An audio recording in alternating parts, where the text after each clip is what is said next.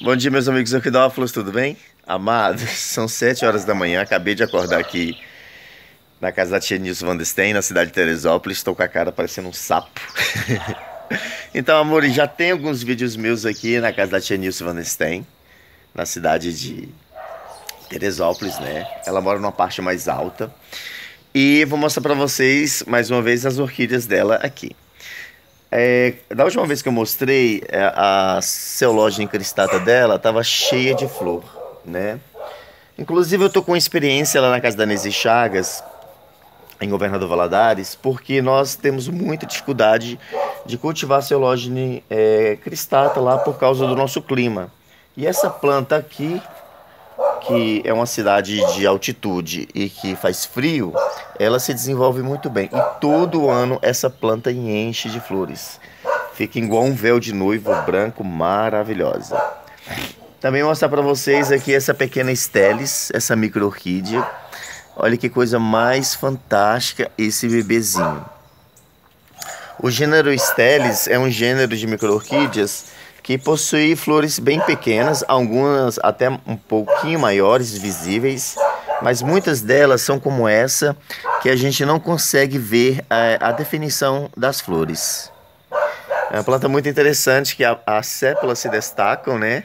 Eu acredito que as pétalas são diminutas e as sépalas se destacam em formas redondas, dando é, um formato hemisférico hemisférico não, esférico das flores. Assim como a gente visualiza as vandas, né?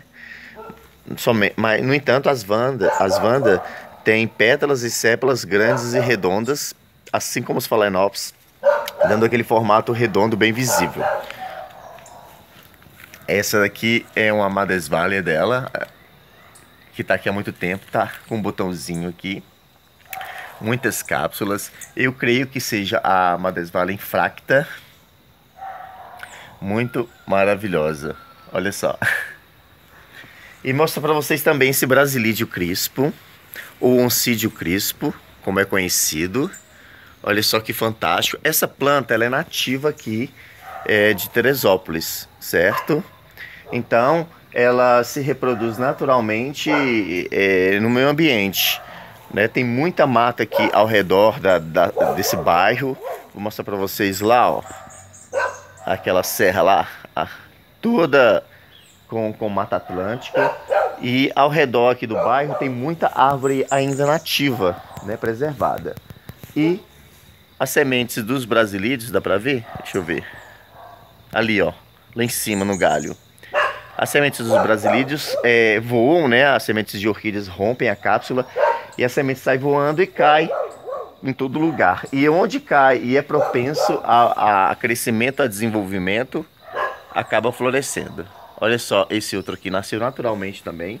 Vou mostrar para vocês como que você percebe que uma planta nasceu naturalmente.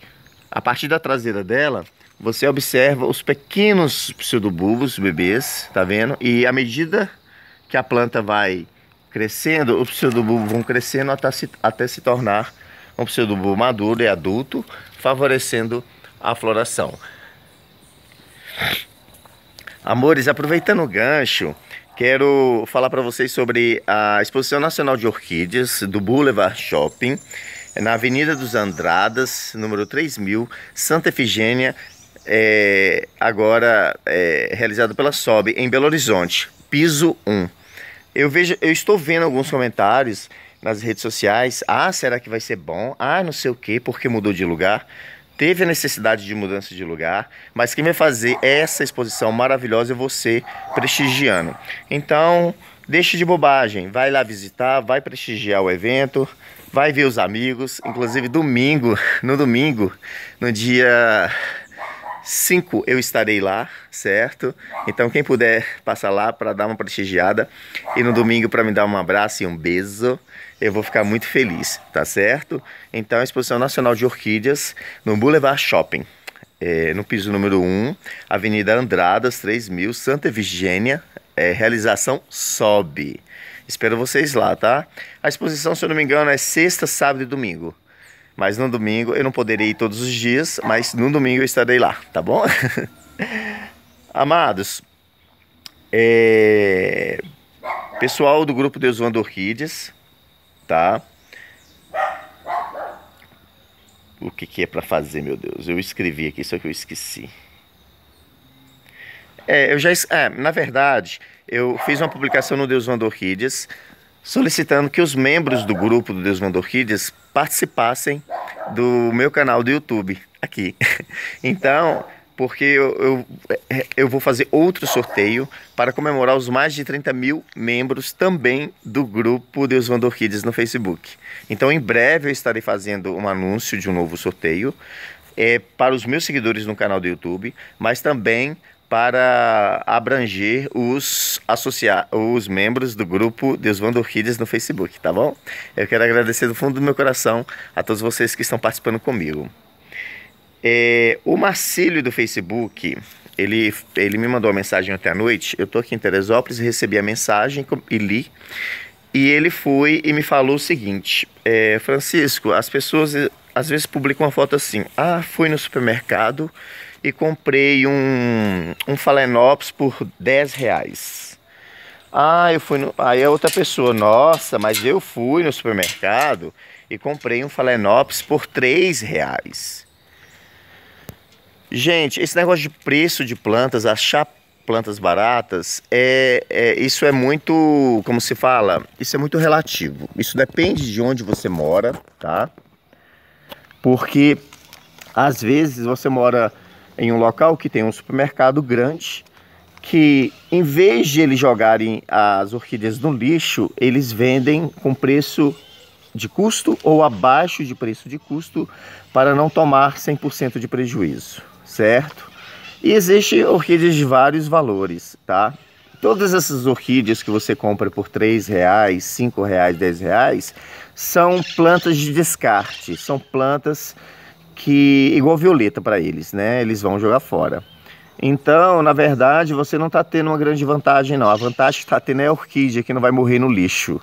Porque Phalaenopsis híbrido, Dendróbio híbrido, Catleia híbrido sem identificação, são, são reproduzidas em grande escala, né, é, por grandes é, floriculturas ou grandes profissionais orquidófilos é, de orquidários profissionais, exatamente para atingir a população é, popular, população popular, a população menos com menos poder aquisitivo, né? A pessoa que vai no supermercado comprar um, uma manteiga e vê uma orquídea lá de 10 reais, 15 reais e acaba comprando.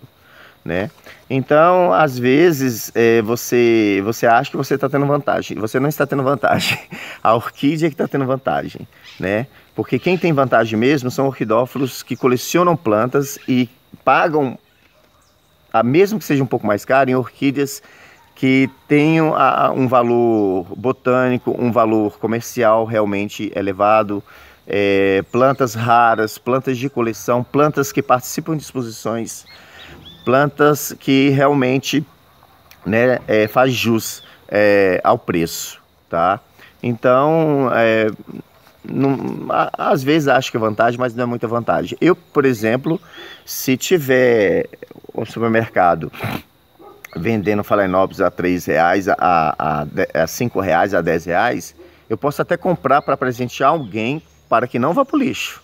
Agora, para falar assim, nossa, eu comprei é, Phalaenopsis a 5 reais, é, nossa, me dei bem. Não, você não se deu bem. Quem se deu bem foi a Orquídea, que foi salva do lixo. E ainda bem que vocês compram, né? Tem que comprar mesmo, porque nos supermercados, né, é, eles, eles veem as plantas, as orquídeas, as bromélias, as, as outras plantinhas, apenas como um, um, um, produto, né? E se eles não conseguem vender, né, igual um produto vence, eles acabam jogando no lixo, tá bom? É, você, você quer comprar plantas especiais, plantas de coleção, desculpa, vocês, vocês têm que procurar nas exposições, né? Você tem que procurar em sites especializados e com pessoas que entendam do assunto, para acabar não é, comprando gato por lebre. Também muito cuidado.